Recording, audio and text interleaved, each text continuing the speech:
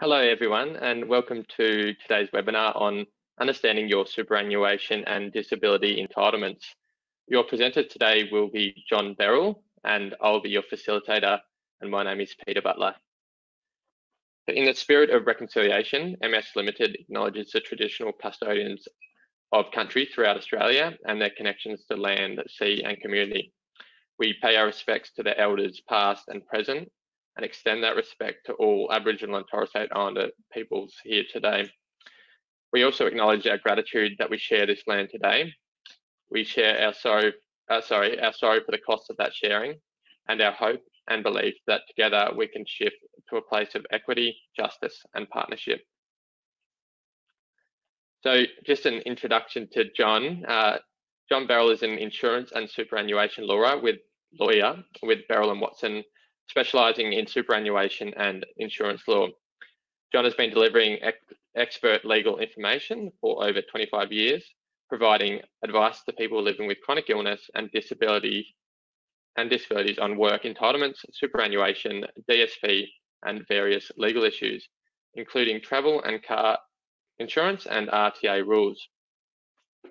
I'll hand you now over to John, um, who can start taking you through his webinar his presentation. Thanks very much, John.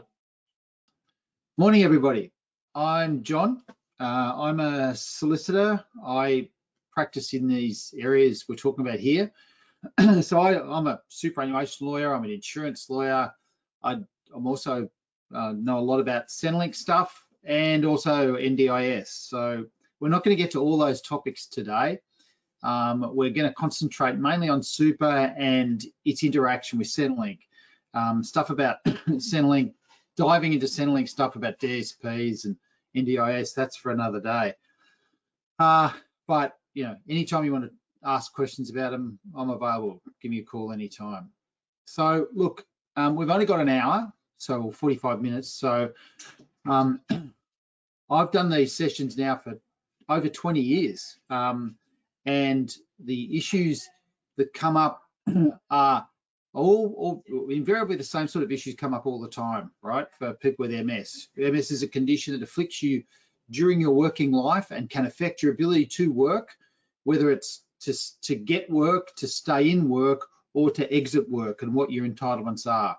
Um, and because MS is not uh, normally associated with being a work-related condition, your support benefits, if you get to the point where you can't keep working, whether that be short, medium, or long term, are limited.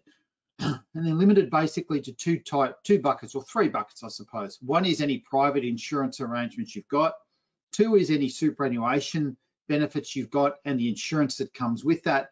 And three is government support, mainly in the form of Centrelink benefits. Okay.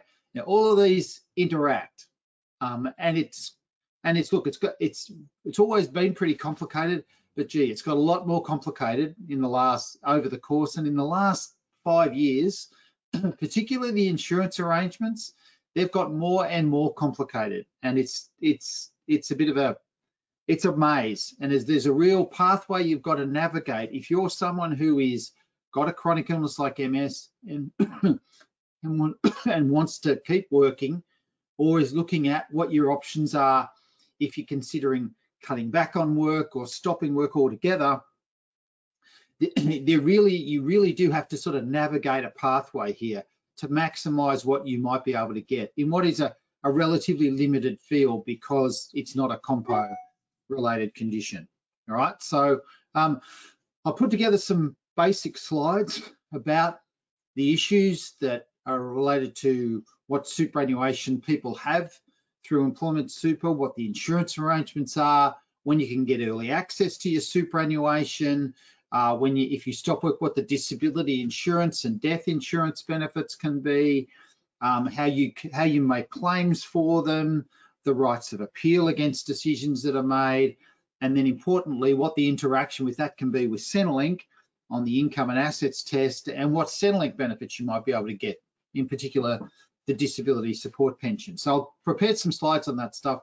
I'm not going to go through them all because we'll be here for more than the hour. And I really want to this to be as interactive as possible, difficult as it's on the screen, but the way to do it, as Pete said, is type in any questions you've got and we'll go through them as we go. So what I'll do is I'll pick out a couple of little areas, a couple of little topics. Um, but please type in your questions. Peter will interrupt me, ask me the questions, and we'll make it as interactive as possible because I think the questions any one of you have got will be relevant to the others as well, okay?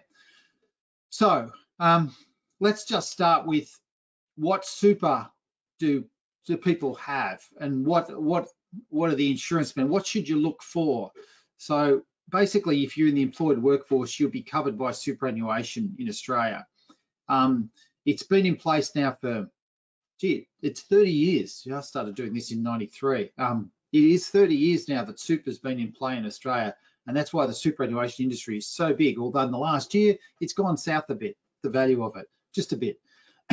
Um, so uh, over the course of that time, most people have sort of accumulated significant super, or depending on where you are in the in the in the work in your work life.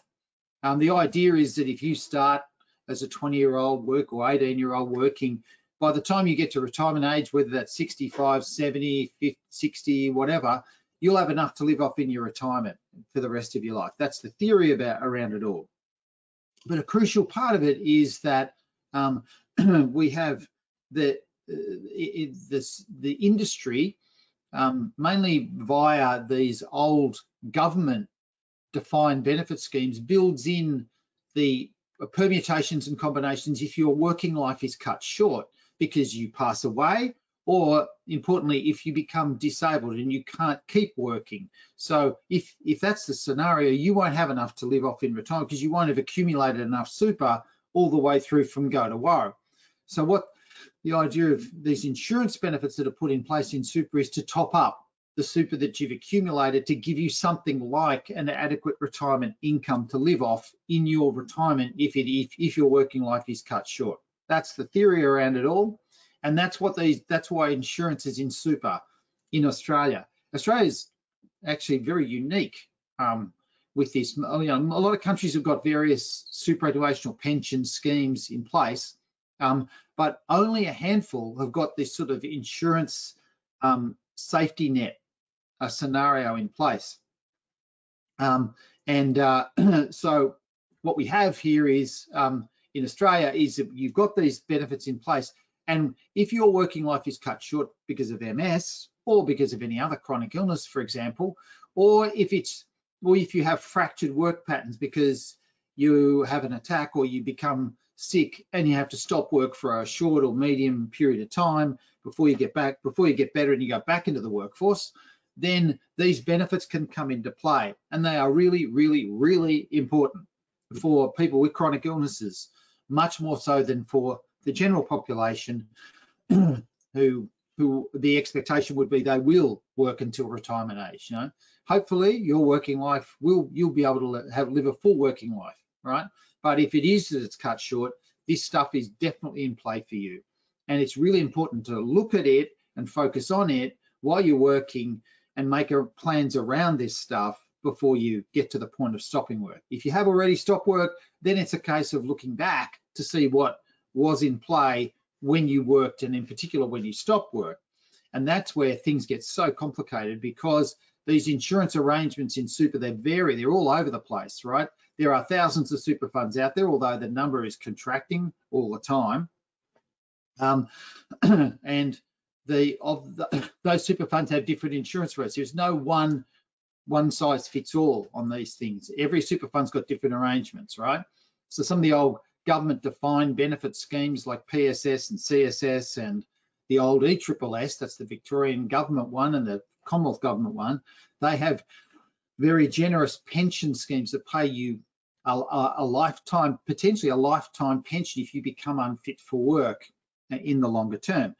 Uh, whereas the uh, what we call the industry funds, for example, the C, you know, the ads on TV, the C buses, the Australian Supers, the Host Pluses, the HESTAs, the Aware Super, you know, all those ads on TV, they're industry, they're industry funds, and they have insurance arrangements attached to them that cover you potentially lump sums for what if you are permanent or long-term unfit for work called TPD or total and permanent disability, or monthly payments if you're short-term unfit for work or temporarily unfit for work, whether that's be whether that's for six months, a year, two years, or maybe even maybe even longer, right?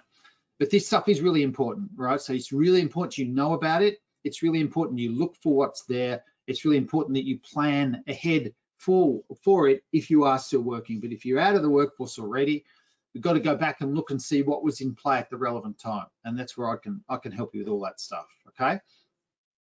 Um, how are we going, Pete? We got any questions yet? Come on, people. Let me Uh, have it. no, que- no questions as of yet. I'll let you know if one comes in. Righto. Okay. Well, the let's just quickly talk about the, the the disability benefits, right? So there's there's two type two main types. One is total and permanent disability. So Pete, go to the slide that had disability benefits. I think it's about the fourth one. Not that one, the next one, that one. So TPD is a is a phrase that's used a lot. Those of us who work in the industry know what it is, but it means total and permanent disability, which means you're long-term unfit for work. So if your MS gets to the point where you can't keep working, and that looks like it's going to be long-term, then you can be eligible for not only the account balance, the money that's in the fund, accumulated in the fund by you, by your contributions and your employer's contributions and whatever is earned, but also insurance, this insurance benefit to top it up to provide you with this sort of extra dough to cover you for, for your retirement, right? So the industry type funds like Aware Super, CBUS, um, Australian Super, they Host Plus, Rest, they provide a lumps. Most of them provide a lump sum for total and permanent disability if you if you can't do your normal job or any other suitable work uh, with your education, with your skills and experience in the long term, then you are a potential candidate for not only the money in your fund, but also this insurance benefit.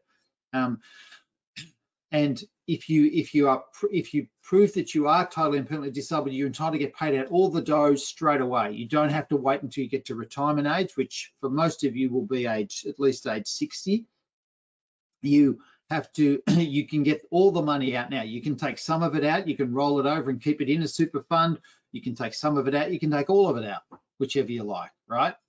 Um, so, or, just about all super funds just about all, not all, but just about all super funds have a, have a, a, have an insurance benefit that is a, has a TPD lump sum.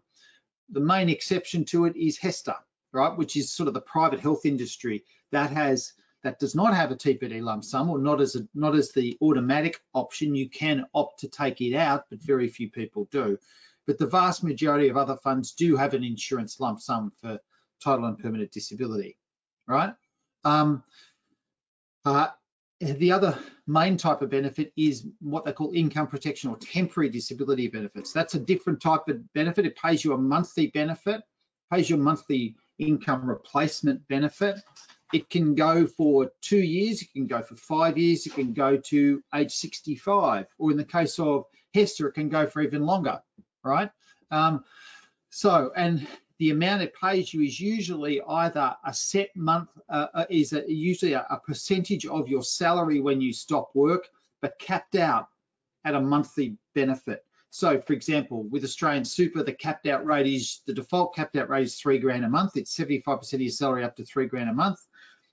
with Rest, it's, pardon me, about two and a half grand a month, but it's, 70, it's 75% of your salary plus the super guarantee, the compulsory super contribution. Um, with Aware Super, it's again, it's a monthly benefit up to 75% of your salary, up to it's a that's a modest amount, up to a thousand bucks a month. It varies. It's all over the place, right? About half super funds have got the monthly the income protection benefit. Just about all of them have got the TPD lump sum, but around about half of them have got the monthly benefit as well, right? And, then as I say, in the case of HESTA, it's default benefit or its standard benefit is only the monthly payment and it's about a thousand bucks a month payable to age 67 all right uh, then there are other benefits in super which is the death a death insurance benefit which is if you die if you if you die before retirement age uh, then there is an insurance lump sum paid to your estate or to your dependents as well as the account balance. Or if you've got a terminal illness, which means less than two years to live, you've also got this insurance lump sum that can be paid to you in within if within that you know two year period before you pass away or you're projected to pass away. Um, so that's sort of the range of insurance benefits in super. Um, uh, the question then is, well, when am I going to be eligible for this stuff, right?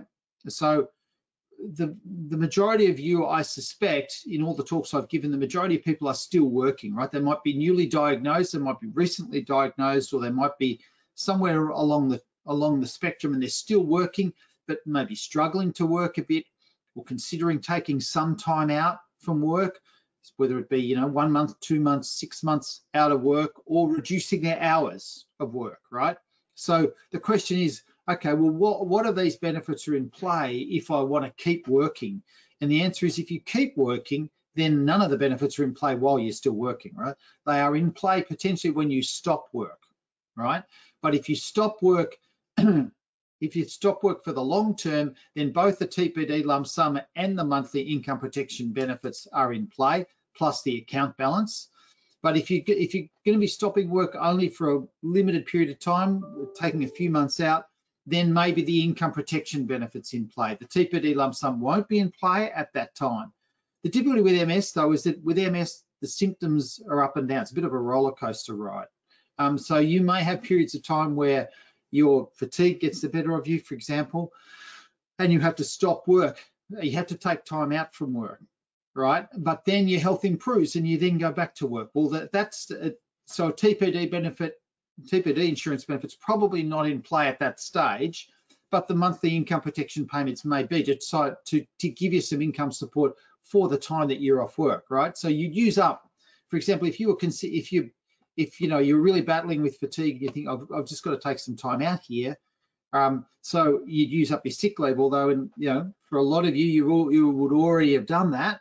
So then this income protection stuff comes into play the prob one of the problems with the income protection is that there is a waiting period during which you don't get paid, right? So most of them have a waiting period of either 30, 60 or 90 days. So for that period of time, they don't pay you the insurance. At the end of that period, if the claim is accepted, they do pay you. They will backdate your payments to that 30 day, 60 day, 90 day start, and then those benefits are payable to you whilst you're unfit to do your normal job right? So for the monthly income protection, you just got to be unfit to do your normal job for the time being. But with the TPD, that's for if you are long-term unfit for work. And then the bar, so the bar set a lot higher with that, right? Now these are insurance benefits provided by insurance companies. So, you know, you've got to make claims with insurance companies. We all have this, you know, there's that old adage that insurers will take your take your premiums, but when it comes to paying the claim, that's a different ball game and that's true, right? But uh, nevertheless, if you have MS, uh, and if you have a chronic illness like MS, and you get to the point where you are considering stopping work, whether it be short, medium, or long term, all these benefits are in place. So don't be put off by the idea of, oh, no insurance company will ever pay. You know, that's not true. I've run thousands of claims, literally thousands of claims for people. Well, I reckon at least a thousand claims for people with MS. And they all, all these benefits are doable when and if you make the health and lifestyle decision to stop work, whether it be short, medium, or long term, right? But as I say, if you haven't yet stopped work, it's really important not to just wait until that time, but to have a look at this stuff and sort of plan ahead, do some planning ahead, right? So the statements you get from Superfund, they come out every every year, um, at least every year where are we now? We're in July. The reporting period usually is around about August, September when the when the super funds send out statements. Well, they used to send them out by snail mail, but that don't happen no more. It's usually done by electronically. So you and, and at any stage you can usually log on use to the super fund and check your account balance and get an up-to-date statement if you want to, right, at any point in time but the general reporting period is at least around about September, October, November, okay? So if not before, so I would encourage you to have a look and see what's there. But then when you do, then speak to someone about it. Get advice about what your situation is, right? About Where you are on the spectrum of working and or considering stopping work or already stopped work and look at what you've got and consider these sorts of benefits because they're all in play, right? They're, they're potentially in play for you. And if you are, and as I say, you fit the bill, you fit this like a glove. Um, what these benefits are designed to do really does fit like a glove with MS, which is a, a condition that can affect people's ability to work during their working lives, right? So this stuff is this stuff is in play. It's important, right? So now there are a couple of tricks to all of this, or a couple of tips to look out for. If you are working, or if you are considering changing jobs or reducing your hours or stopping work, you need to check this stuff out first, right? Because what the decisions you make can affect your the what you're covered for and your ability to claim. So an, an example, prime example of that is if you're working full time, but it's smashing you and you're considering going back to part time, so reducing from 35 hours a week to three five days a week to three days a week, for example, right? Um, uh, can you do that? Yes, you can, but it could affect particularly the income protection benefit, right? Because that's calculated under most funds is calculated as a percentage of your salary when you stop work. So if your salary, if you reduce your hours before you get to the point of stopping work, your salary can go from five days a week salary to three days a week salary. And therefore the percentage they pay you when you stop work for the income protection is less, right?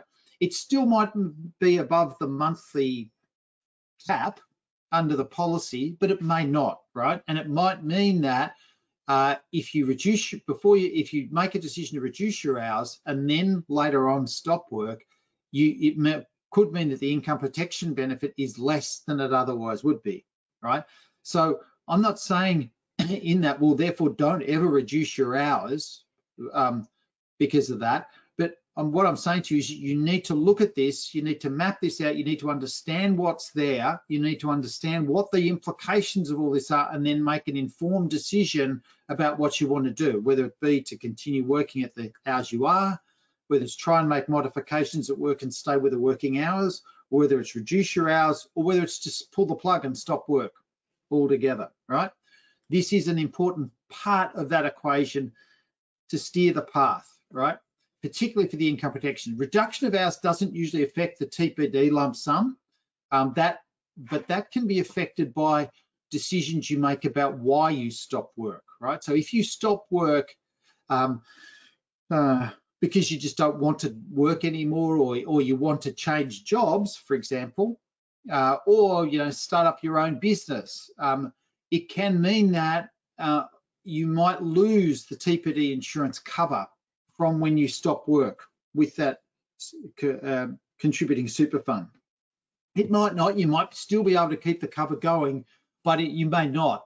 And there are these rules that have been introduced in the last three or four years around what happens to insurance in super when your account falls below a certain amount or where um, there's no contributions going into the fund.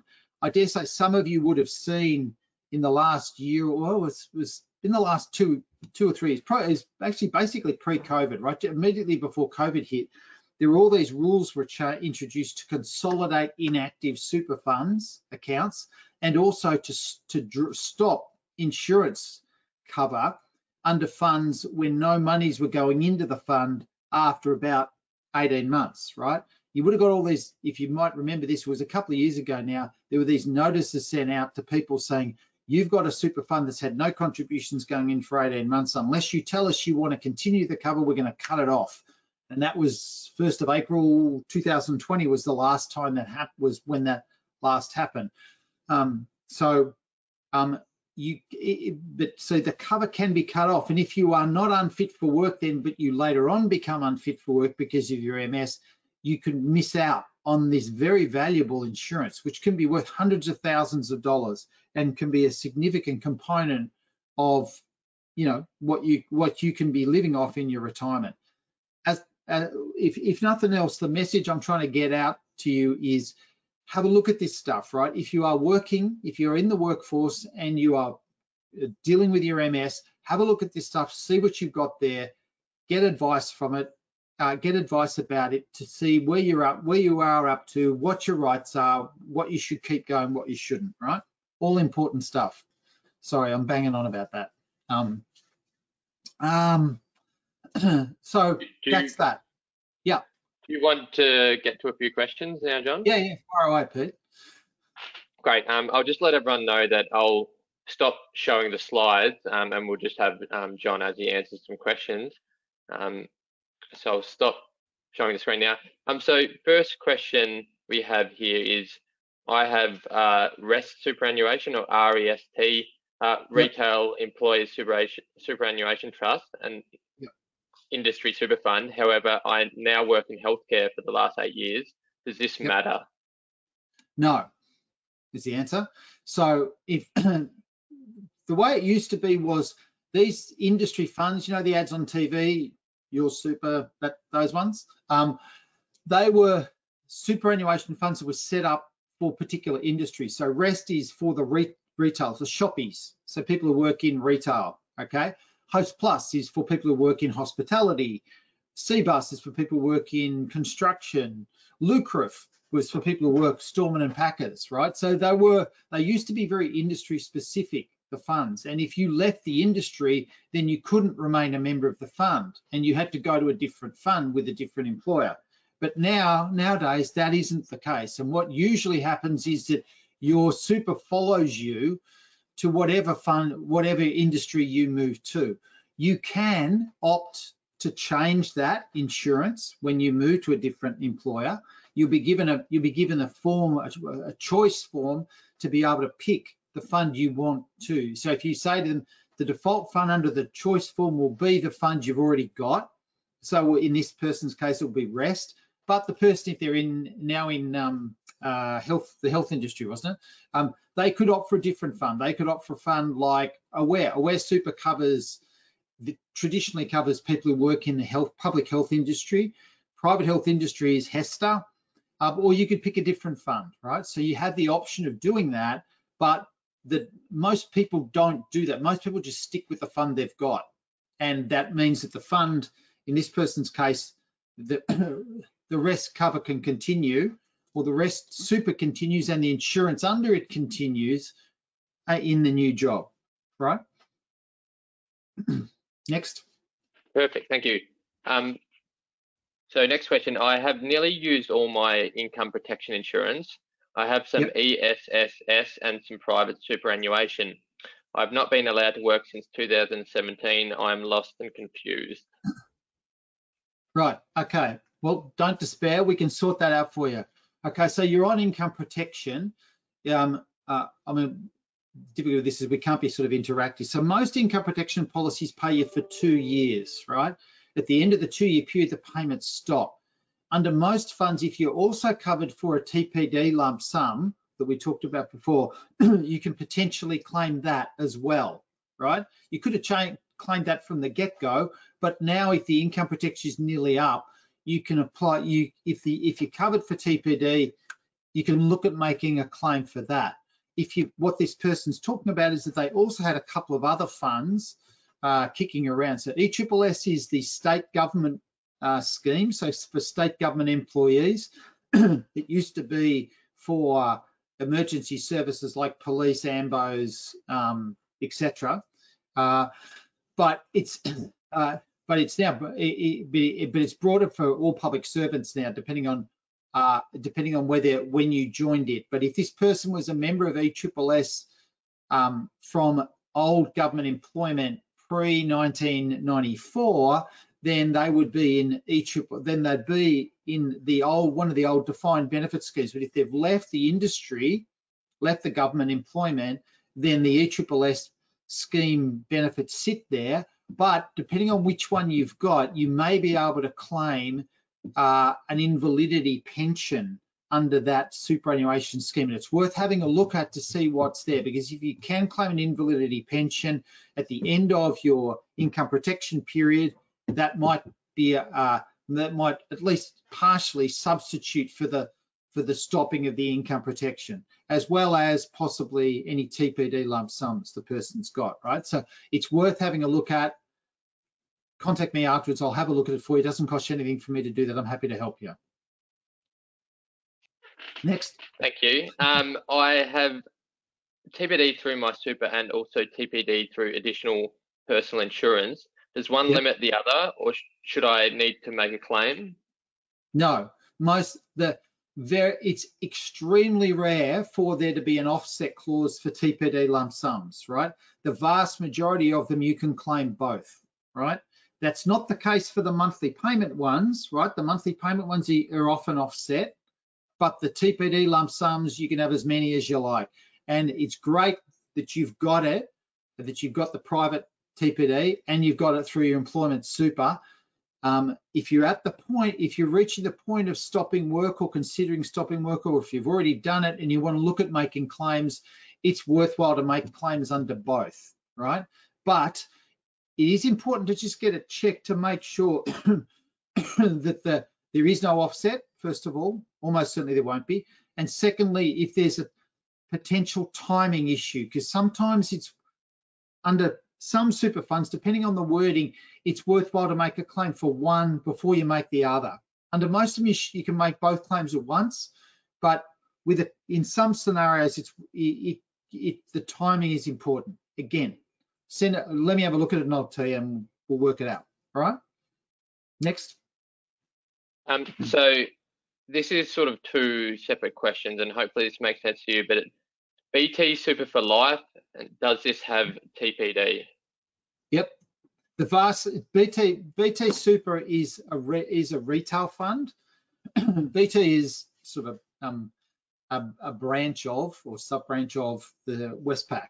Um, so, uh, but BT is a retail fund. Uh, if you if employment super was paid into it, almost certainly it would have had insurance cover for death and TPD, maybe income protection as well when you were working. I, I, don't know if this person's still working. If they are, then it almost certainly does have it.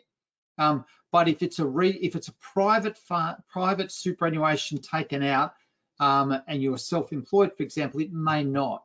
But let's have a look at it to see what's there, right? But if you are if you're working and in the employer's contributing to it, then the answer is almost certainly it does. But work, but again, as part of this sort of idea of mapping out what the future holds for you and which way to go and all that. Let's have a look at it, right? Next, please. Any more? Um, so, um, hi John, my super is with HESTA. Should I Yep. be rolling my super over to another fund? Um, okay, so it depends on whether you're still working, right? If you are still working and your employer's contributing to HESTA, um, then as I say, HESTA's got their default insurance arrangements or their standard insurance arrangements don't include the TPD lump sum, right? It's it's an historical thing. Um, uh, I could bang on it about for ages, but well, basically what it used to be that HESTA used to cover the AIDS councils, and back in the 90s when the AIDS crisis hit, um, HESTA, through their insurance arrangements, were absolutely inundated with AIDS-related TPD claims. And what ha what happened was that their claims experience um, blew out, and the insurance in and the insurance or the, there were two insurance companies at the time who covered them, one after another. They they withdrew from the market for HESTA because their claims experience was so adverse and they were losing money on it, right? So HESTA, way back when, the only insurance they could get was a monthly benefit, not a TPD lump sum, right? And that's and that's been in place since 1996 that, that HESTA has had as their default option, no TPD cover, only the monthly income protection payment. It's about a thousand bucks, about a thousand fifty bucks a month. There are there is a small component of a lump sum in HESTA's default arrangements, but it's only small. But for there is no TPD cover, which is very, which is very, which is a problematic, right? So it's not great it's not the best insurance cover kicking around. The only advantage of HESTA is that it actually pays your monthly payments to age 67 is the default cover under HESTA. But it's also got offsets for Centrelink, and I'll talk about that at the end if we get time. It's in the um, uh, pro forma stuff I've, you've got. Um, but HESTA's HESTA's problematic. So the question is, okay, if, if my HESTA's pretty lousy, my insurance is pretty lousy, should I change insurers?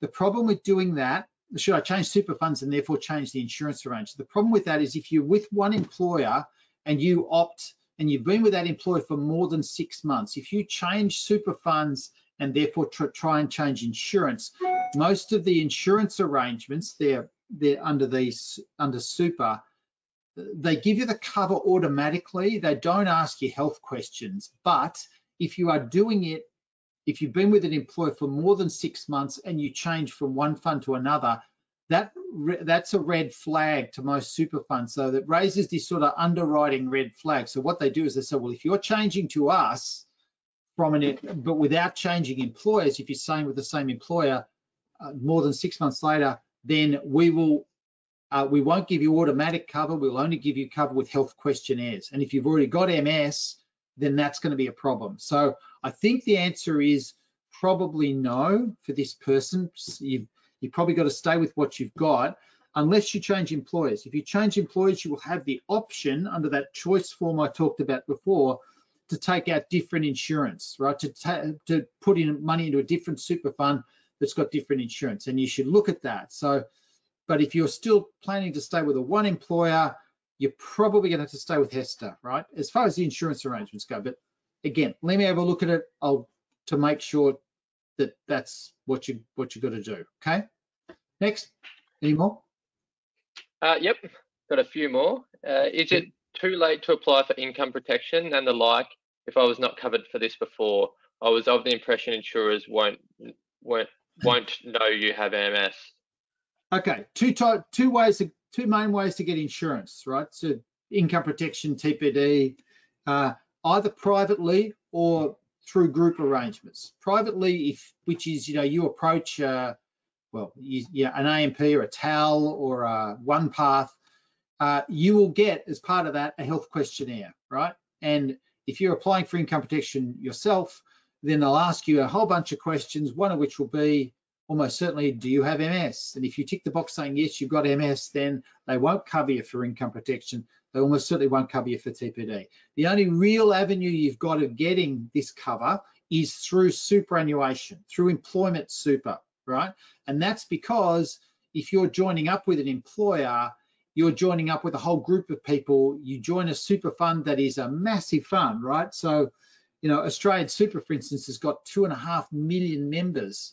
Rest has got over 2 million members, right? So if you join an employer, if you start a job with an employer and you, you take out um, the super as part of that, they will give you the cover on a on an automatic basis without asking you any health questions because they can spread the risk across the two and a half million members, right?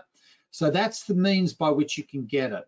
But if you're already in employment or if you're self-employed, then no, you you almost certainly won't be able to get in uh, income protection or TPD cover because you've got MS. But again, depends on what your circumstances are. Is this person already off, unable to work, or are they self-employed? Because if you are self-employed, there are some possibilities. So, for example, if you're self-employed, you could set up a corporate structure. You could set up a company, employ yourself as part of a company, and then take out super. And then you, the employer, has to pay super for you, the employee. You can join a super fund. You can get default insurance cover that way. Okay, there are ways and means. Again, let's have a look at it. Next, Pete. Um, my diagnosis came after the super account was started. Is it worth increasing cover or will it be impossible to achieve post-diagnosis? Yep, with most super funds, you get the default cover. You get the sort of automatic cover when you join, right? Um, you can tick a box saying, I want extra cover. Usually it comes in units. So, you know, you get multiples of the cover you've got. if you don't do that at the start, uh, if you apply for extra cover, you usually are subject to health questioning, right? So underwriting. So they ask you health questions. They might not ask you the full range of questions, but they will ask you questions. And if you've already got, if you take out the cover, get the default arrangements, then you get MS, then you want to apply to increase the cover, almost certainly you'll get caught out, you know, under these underwriting rules. So the answer is no. If you change, however, as we talked about before, if you change jobs, right? I'm not saying you should, but if you do change jobs, just keep in mind that you'll get another choice form. You can pick a different super fund you could take out insurance cover with that. You can keep the insurance cover with the existing fund going, and you can have two lots running at the one time, right? Ways and means, all legitimate. Next. Um, is a re reversionary nomination the same as binding nomination? Um, so uh, let's talk about this is the um, one of the screens you'll get is a, deals with death benefits or a couple of them deal with death benefits. So the way superannuation works is that when you take out super, one of the one of the form one of the things they ask you is who gets the dough if you die. Um, you can nominate someone to get your money or nominate one or more people. There are two different types of nominations. One's called non-binding and the other is called binding, right? A non-binding nomination is, as it says, you can nominate someone. The trustee of the super fund, if you die, makes that they will look at what you've done. That's the one. They'll look at what you've done, but they will decide who gets the money. They'll look for any dependents of yours at the date of death, um, uh, and they will they will make a decision who gets what amongst those dependents, or whether it goes to the estate. If you have a binding nomination and you and you nominate someone who they must be a dependent, so your spouse, de facto, children, financial dependents, then the money goes to that person or persons.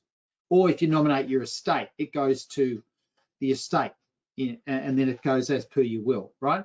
So you can take out if you if you're in a super fund that's got binding nominations and you want and you want the certainty of who gets the money, then um, log on, fill in your binding nomination form. It's, it's done in the same way as a will. It's got to be witnessed and that sort of stuff in the same way as a will has to.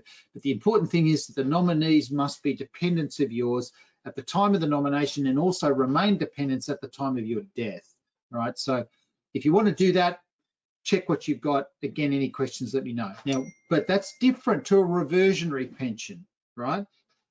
Now, what the what the questioner is asking is, if you've got a reversionary pension, most of these, the government schemes I talked about before, which is the their government schemes like uh, PSS, CSS, ESSS, they are um, they're what we call the old government defined benefit schemes. And under those schemes, um, if you become disabled, uh, then or if you or if you die, uh, if you become disabled, you get a, you're entitled to a pension. Or if you get to retirement age, you're entitled to a pension until you die.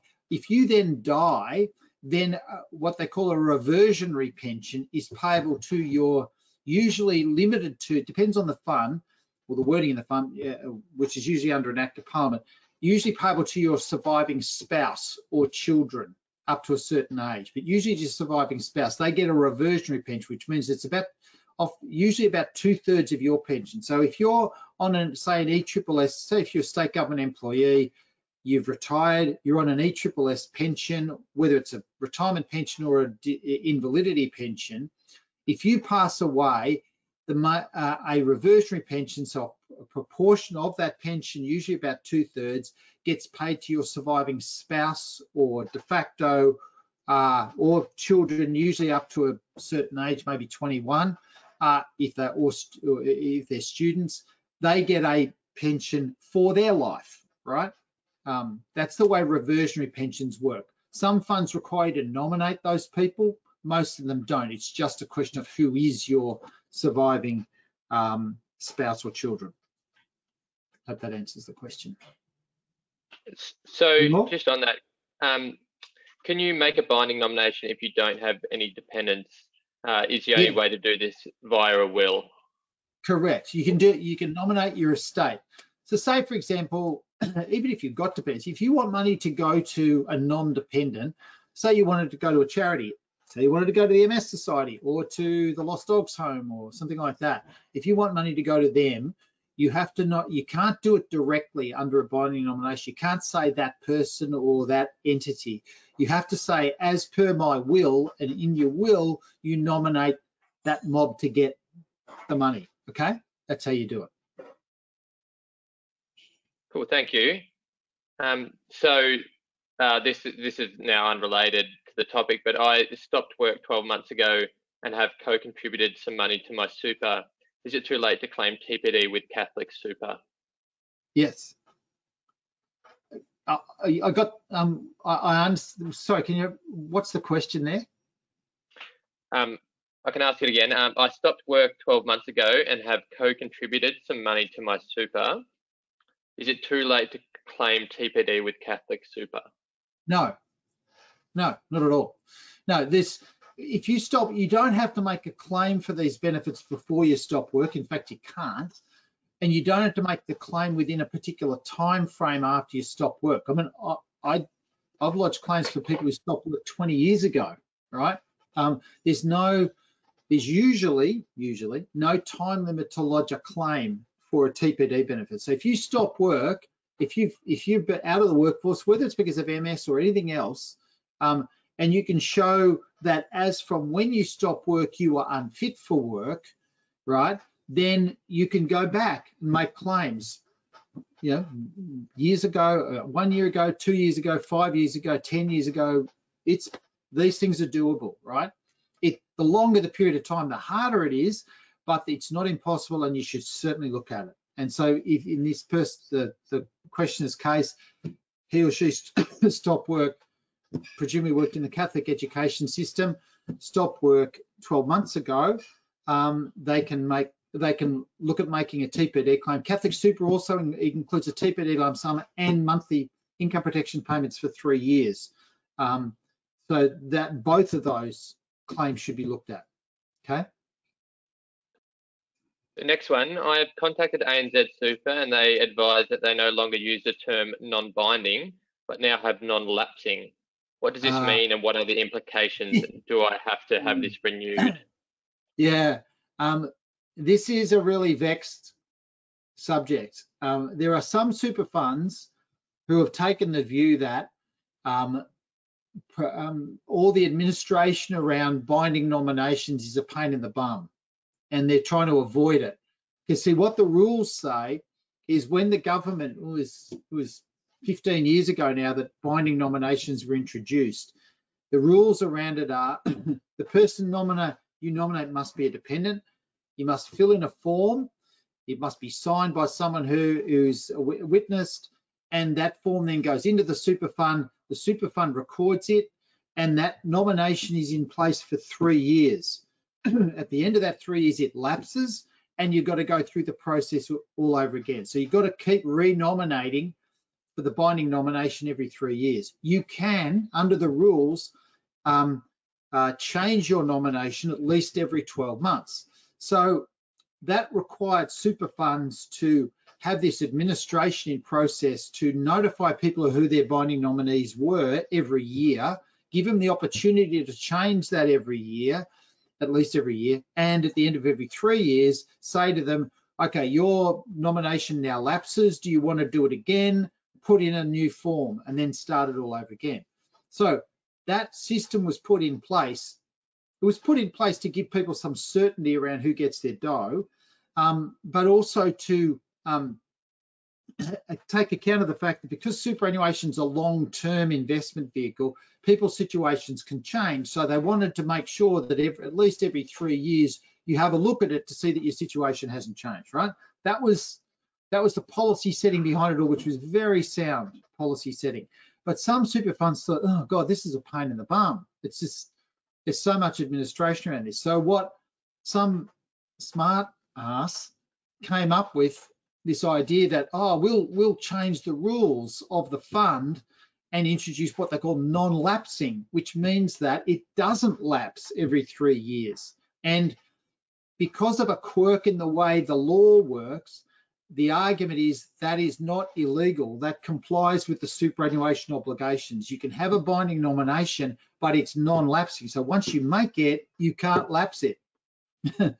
um, and um, uh, but what you can do is uh, there are ways and means around it. One of which is leave the fund and go to a different fund, uh, and look at the look at the circumstances of the nomination, etc. So again, if you, if the person wants to consider changing it, if they've got it on, if they've already made the nomination and and the, their circumstances have changed, some funds, some of the non-lapsing ones have do allow for changes if person's had a change of life. So for example, if they've had a divorce, uh, if they've had a death in the family, if they've had a child, in those circumstances, some funds allow for the non-lapsing things to change. But if you if this person's already got a non-lapsing in place and they they want to consider changing it, let me know and we'll have a look at it and see the way work out the way around it. Okay. This stuff gets complicated, eh? Nothing's nothing's straightforward. um, uh, another question here. um, hi, John. Still working part time, covered with well, for TPD with Mercer since 2001. Recently reduced hours slightly and work four days a week. I want yep. to stop working the next two years and focus on health and life. I'm 55 year old with years old with MS since 2003. How disabled do I have to be? Okay, um, good question. So that's sort of what we were talking about before, right? Which is um, Mercer. Mercer is a retail fund. The insurance cover under a lot of the retail funds is usually pretty good. One thing about insurance in super is that under a lot of funds, not all, but a lot of funds, as you get close to retirement age, the insurance starts to slide away, right? It starts to reduce. So this person's been a member of Mercer for 20 years. So their insurance cover, it does change because the arrangements often change every three years or can change every three years. But um, the, the chances are that the amount of the cover that for TPD this person has got is, is starting to slide, right? Um, uh, if that they've reduced their hours from full time to five to four days a week, um, that's what I said before about the income protection. It won't affect the TPD cover usually, but it will probably affect any income protection the person has if they've got it, right? So I need to check that to see. Um, but if, if, depending on what your wage is, if the monthly payment for income protection is capped out at say three or four grand a month, it may not affect it significantly, if at all. But what they're talking about is, look, I've got MS. Uh, it's, um, you know, it's affecting me, my health and lifestyle. I'm gonna I'm looking at making a health and lifestyle decision to stop work. That's that's sort of the third stage that we see from people. You know, we see people who are diagnosed and working, then people who are working but struggling a bit to work, and then people who are sort of considering the health and lifestyle decision to stop work. This person is looking at is sort of in that between stages two and three, right? Really important they look at this. But basically, my advice to them is when and if you get make the health and lifestyle decision to stop work, you are in the ball game of a TPD lump sum. You are certainly in the ball game of an income protection benefit if you've got it, but you're also in the ball game of a TPD. But it's really important to look at what you've got, to sort of map it out, to stay in touch with your doctors, in particular your neuro. Now, most most neuro MS neuros are terrific and supportive, and you know for particular, particularly people who are long termers, they'll very often say to them, listen, what the hell are you still doing working? You know, you need to look after yourself, you need to look after your health. Uh, I'll support you if you if you get to the if you reach the point of stopping work, right? Not always, but most of them are like that, right? So what, the person needs to check the super um, now and then sort of put in place stuff so that when and when when and if they pull the trigger to stop work, they know what they know what they can potentially claim. But but the, to be the TPD lump sum is payable if you are on the balance of probabilities permanently un, unfit for work for at least six months usually, and then uh, on the balance of the evidence permanently unfit to do the normal job or any other suitable work with their skills and experience. The permanency question is usually the thing, right? Because with MS, symptoms are a bit like this. So it's a question of hitting at the right point of the of the roller coaster as to when you got to the point of being unfit for work. But as I say, I've run probably a thousand TPD claims for people with MS, and the strike rate is very high. So when you get to that point of making the health and lifestyle decision, you are definitely in the ball game, right? So, but it's really important to, to check what you've got now and to keep that in play until the, you reach the point of making this decision to stop work. Okay. Any more? Um, we've got a couple more, but I was just uh, just a bit conscious of time. And were you wanting to go through the Centrelink DSP impairment tables? Uh, I, I, I, thought we'd run out of time. Uh, all right, so look really quickly. So the super stuff is really important, right? Um, but when and if you make the decision to stop work, um, uh, if you're not eligible for income protection payments, or even if you are, you might be eligible for Centrelink benefits, right? Now, the basic Centrelink benefit is called Job Seeker. Uh, you're not going to get rich on that. It pays you th basic 300 bucks a week, right? It, but there is a higher benefit, which is the disability support pension, which is about 450 bucks a week as a base amount um, with add-ons, etc. But to be eligible for the DSP, you got to jump a few hurdles. Um, now, uh, and one of the, the most significant hurdles is this impairment table. So the eligibility criteria for the DSP are you've got to be, you've got to be, you've got to have a condition that's been diagnosed, fully treated and stabilized. That can be a problem with MS because, you know, you can be under active treatment, your condition may not be stable because it might be fluctuating. And for some people, a diagnosis of MS takes quite some time, right? So that's a that's an issue. The second thing is you've got to have an impairment uh, on the on one of these impairment one or more impairment tables of 20 points. And what's listed there, what Peter's put up there, and it's in the stuff you've got, is the tables. There are 15 tables that um, impairment tables. The ones that are that cover all sorts of impairments you know, impairments for doing day-to-day activities. It's a measuring data. It, it, it's about health health issues, and it measures your ability to do day-to-day activities and and uh, in uh, categorizes it either mild, moderate, or severe. You've got to get 20 points to be eligible for the DSP, whether that's under one table or more than one table combined. The ones, the tables there that are relevant to MS are table one, that's fatigue, covers fatigue. Table tables two and table two, which covers lower limb function. Table five, potentially if you've got you know mental health issues arising from your MS, and table seven, which is brain function, if you've got cognitive issues, right? They are the they're the ones that generally speaking, MS is relevant to. And if you've got, depending on the level of your impairment, which is your ability to do day-to-day -day activities like cleaning, um, shopping, uh, catching public transport, working, interacting with other people, that sort of stuff, you'll get classified as mild, moderate, or severe, or not at all. Um, and if you hit 20 points under one of them, you'll be eligible for the DSP if your condition's stabilized, right? And the, the significance of that is the DSP pays 50% more than the, about 50% more than the um, uh, job seeker rate does, and it's not subject to the you know looking for 20 jobs a month thing that um, job seeker is. but so how that interacts then with with the superannuation you get paid out is important. So Pete, if we go down to one of the last tables, the last two tables which cover not that one, not that one, that one, the income test. There's there's the Centrelink income test and the Centrelink assets test, under which you look at eligibility for the DSP or, or job seeker um, is also limited potentially by the income test and the assets test, right? The income test covers things like income protection payments, right? And basically, it's, it's not quite right, but the general rule is um, 50 cents in the dollar. Basically, for every 50 cents you get from income protection, it reduces the uh, the uh, your, your benefit by 50 cents in the dollar, right? Then there's the next one, the assets test, that one there.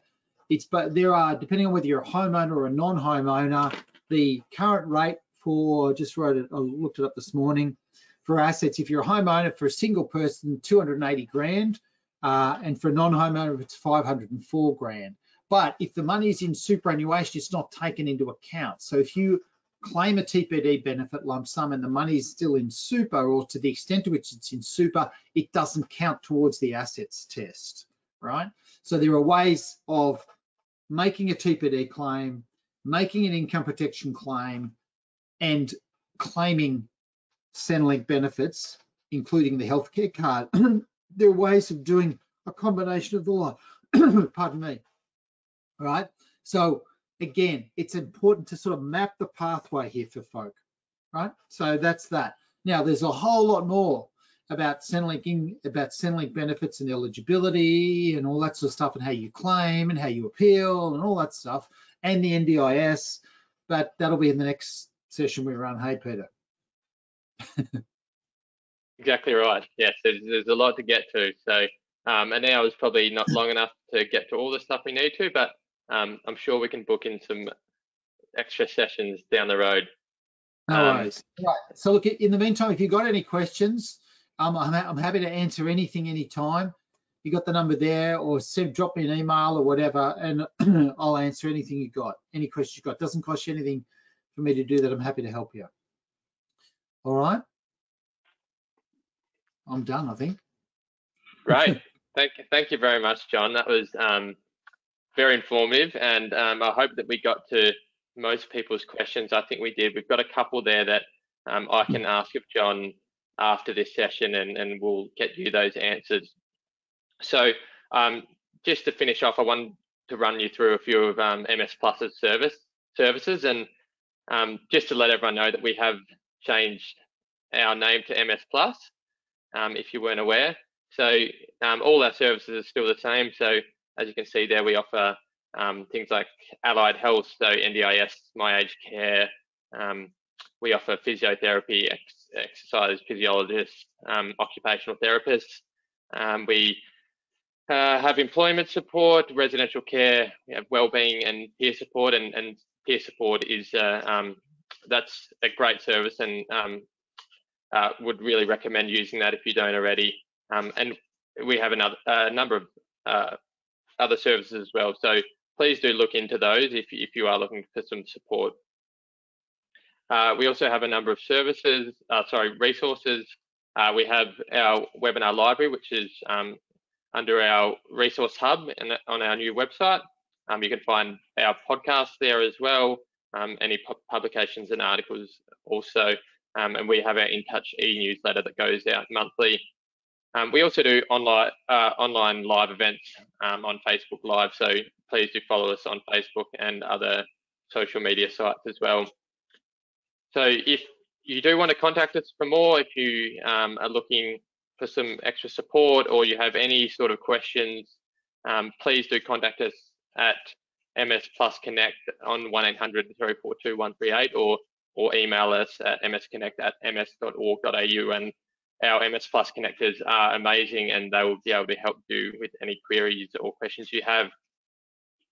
Can, so, can I just can I just reiterate that I've hmm? I've dealt with the MS Society now a lot of disability groups for 25 years now, and I know you you probably don't think you think you've lucked out by getting MS, and but uh, I can tell you you've lucked in with the organisation that is associated with it because the MS Society is is really good. They are incredibly helpful, incredibly supportive. So use their services. I'd encourage you to do it. Sorry, that's my bit. that was unscripted, wasn't it, better? that was absolutely unscripted. So thank you for that. And um, thank you so much for presenting today. Yeah, a, a great and very informative present, uh, presentation. I hope that uh, John got to all the questions that you may have had and certainly covered a lot of stuff there. So thank you, John, and thank you everyone for attending today. And please do stick around afterwards to just fill out a short survey. That, that would be very helpful. So thank you all and, and have a great day. See you later. Bye-bye.